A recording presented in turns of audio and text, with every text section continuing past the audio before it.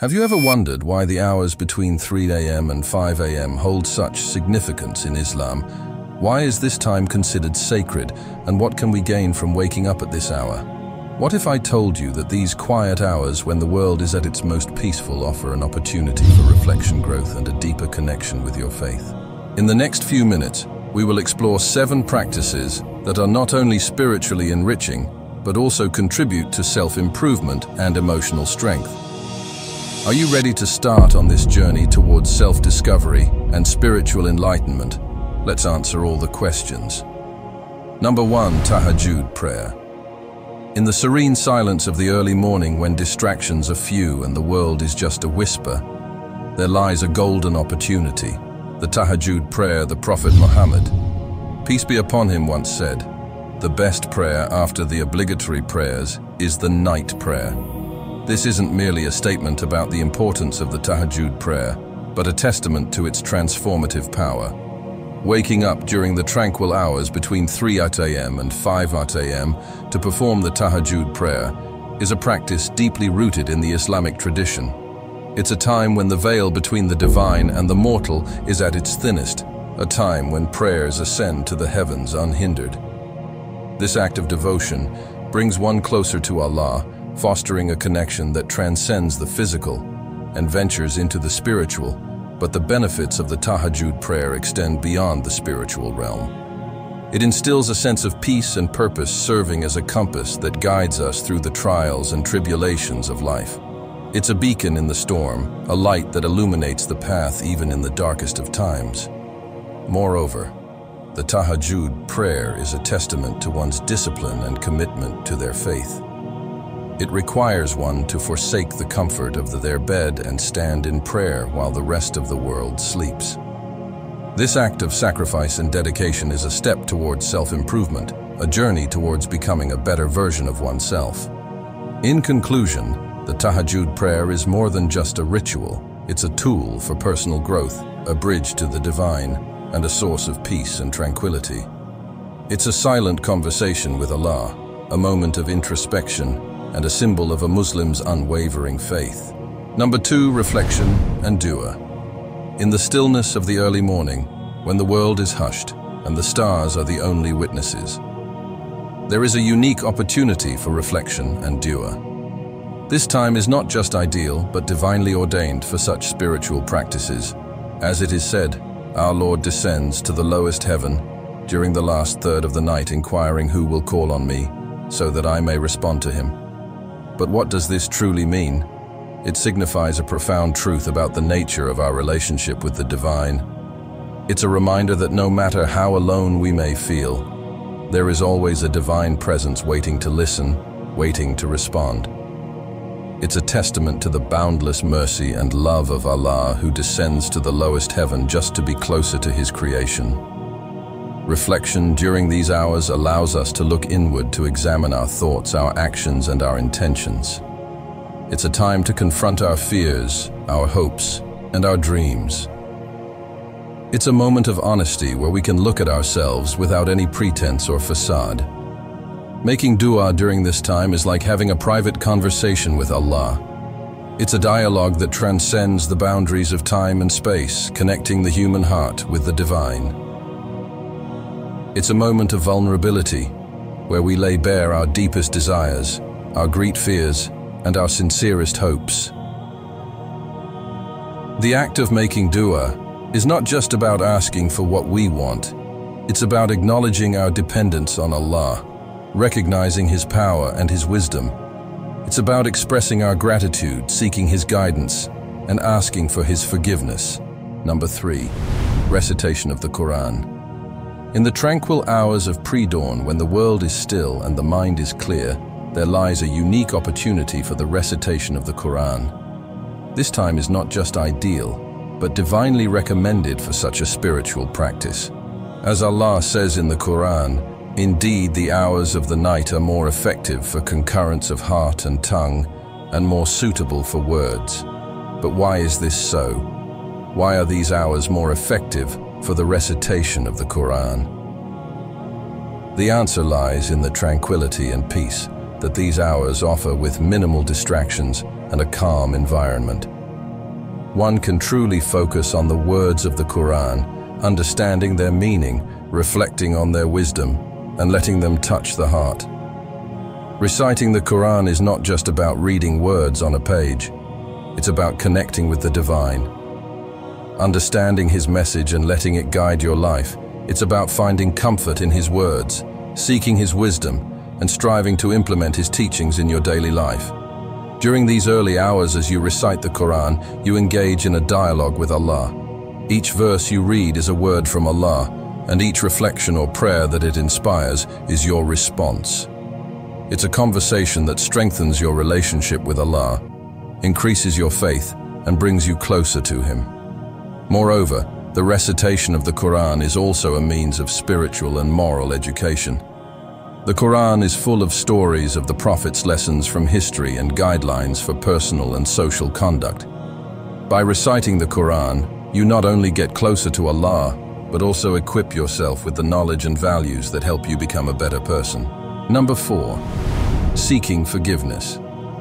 In the solitude of the early morning when the world is still asleep and the heart is awake, there lies a unique opportunity for seeking forgiveness. This practice known as istighfar. It is not just a ritual, but a journey towards self-improvement and emotional strength. The Prophet Muhammad, peace be upon him, once said, Whoever regularly says, istighfar, seeking forgiveness, Allah will appoint for him a way out of every distress and a relief from every anxiety. These words are not just a promise, but a beacon of hope for those lost in the tumultuous sea of life's challenges. But what does seeking forgiveness truly entail? It's not just about uttering words of remorse. It's about acknowledging our mistakes, learning from them, and striving to do better. It's about taking responsibility for our actions and making amends where necessary. Seeking forgiveness in the early hours of the morning has a unique significance. It's a time when the distractions of the world are minimal, allowing us to focus on our inner selves. It's a time for introspection, for looking within and confronting the demons of our past. This practice of seeking forgiveness is not just about alleviating guilt or escaping punishment. It's about cleansing the soul, purifying the heart, and liberating the mind from the shackles of past mistakes. It's about finding peace within ourselves and paving the way for personal growth. Moreover, seeking forgiveness is also about forgiving others. It's about letting go of grudges, healing old wounds, and fostering a spirit of compassion and empathy. It's about understanding that everyone makes mistakes and that forgiveness is the first step towards reconciliation. Number 5. Remembrance of Allah. In the serene stillness of the early morning, when the world is yet to stir from its slumber, there lies a unique opportunity for dhikr, the remembrance of Allah. This practice is not just a ritual, but a spiritual exercise that brings tranquility, fosters mindfulness, and helps control destructive emotions. Allah says in the Quran, Indeed, in the remembrance of Allah, do hearts find rest. These words are not just a divine command, but a profound truth about the human condition. Our hearts, often troubled by the worries of the world, find solace in the remembrance of Allah. It's in this divine remembrance that our hearts find peace, our minds gain clarity, and our souls attain tranquility. Engaging in dhikr during the early hours has a unique significance. It's a time when the distractions of the world are minimal, allowing us to focus on our spiritual selves. It's a time for introspection, for self-reflection, and for cultivating a deeper connection with Allah. But dhikr is not just about uttering the names of Allah. It's about understanding His attributes, reflecting on His greatness, and acknowledging His presence in our lives. It's about expressing our love for Allah, our gratitude for His blessings, and our longing for His mercy. Moreover, dhikr is also a means of self-improvement. It helps us control our destructive emotions, such as anger, jealousy, and pride. It reminds us of our purpose in life guides us on the right path and helps us cultivate virtues like patience, gratitude, and humility. In conclusion, dhikr in the early hours is a powerful practice that leads to spiritual growth, emotional stability, and personal development. It's a journey of self-discovery, a path towards inner peace, and a gateway to a deeper connection with Allah. Number six, planning the day. In the tranquil hours of the early morning, when the world is still asleep and the mind is clear, there lies a unique opportunity for planning the day. This practice, inspired by the life of the Prophet Muhammad, peace be upon him, is not just about organizing our tasks, but about making the most of our time. The Prophet Muhammad, peace be upon him, was known to be exceptionally organized, using his time wisely. He balanced his responsibilities remarkably fulfilling his duties as a prophet, a statesman, a community leader, a friend, a husband, and a father. His life is a testament to the importance of time management and the benefits it brings. Waking up early allows us to plan our day, prioritize our tasks, and promotes productivity. It's a time when the mind is fresh, the distractions are minimal, and the potential for productivity is at its peak.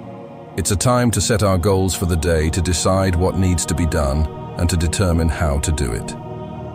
But planning the day is not just about making a to-do list. It's about setting realistic goals, managing our time effectively, and maintaining a balance between our personal and professional lives. It's about understanding our priorities, recognizing our limitations and making conscious decisions about how we spend our time. Moreover, planning the day is also a means of self-improvement. It helps us become more disciplined, more organized, and more productive. It reduces stress, increases efficiency, and leads to a sense of accomplishment. So in conclusion, planning the day in the early hours is a powerful practice that leads to self-improvement, increased productivity, and better time management. It's a journey of self-discovery, a path towards personal growth, and a gateway to a more fulfilling and productive life. Number 7. Suhoor, pre-dawn meal. As the first light of dawn begins to break, there is a tradition that not only adheres to the Sunnah, but also prepares us for the day ahead. The pre-dawn meal, or suhoor, this practice is not just about nourishing the body, but also about nurturing the soul.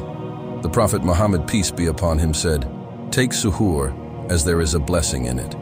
These words are not just a recommendation, but a divine wisdom that highlights the importance of suhoor. The act of waking up early to nourish oneself, before the day begins, is a practice that brings physical strength and spiritual tranquility. Suhoor is not just about filling our stomachs, but about preparing ourselves for the day ahead. It's about starting the day on a positive note with gratitude for the food we have and the day that lies ahead. It's about acknowledging Allah's blessings and expressing our gratitude through this simple act of eating. Moreover, Suhoor is also a time for family. It's a time when the family comes together, strengthening their bonds and starting their day together. It's a time for shared prayers, shared meals, and shared moments but the benefits of suhoor extend beyond the spiritual and emotional. It also has physical benefits. It provides the body with the necessary nutrients and energy for the day ahead. It helps maintain a healthy metabolism, promotes better concentration and productivity, and contributes to overall physical well-being. In conclusion, suhoor is a practice that embodies the essence of Islam. It balances our physical needs with our spiritual duties, our individual practices with our communal responsibilities, and our worldly lives with our religious commitments. It's a practice that promotes discipline, fosters unity, and brings us closer to Allah. As the first rays of dawn pierce the night sky, we find ourselves at the threshold of a new day. Waking up between 3 a.m. and 5 a.m. is not just about performing religious duties. It's a journey of self-discovery, a testament to our resilience and a reflection of our commitment to personal growth. This practice is about self-control, about mastering our desires and disciplining our souls. It's about fortitude, about standing firm in the face of trials and tribulations. It's about overcoming destructive emotions, transforming them into positive energy that propels us forward. But this journey is not just about the destination. It's about the journey itself. It's about the quiet moments of reflection, the heartfelt prayers whispered in the silence of the night and the tranquil solitude that brings us closer to our Creator. It's about starting the day with a clear mind, free from the clut of worldly worries. It's about greeting the day with a tranquil heart, filled with peace and contentment. It's about facing whatever comes our way with courage, patience, and faith. In the end, waking up between 3 a.m. and 5 a.m. is not just a practice. It's a lifestyle. It's a choice we make every day to strive for excellence, to seek spiritual growth, and to lead a life of purpose and meaning. So at the end of this video, let us remember that every step we take brings us closer to our Creator. Every prayer we make brings us closer to our purpose, and every moment we spend in reflection brings us closer to our true selves.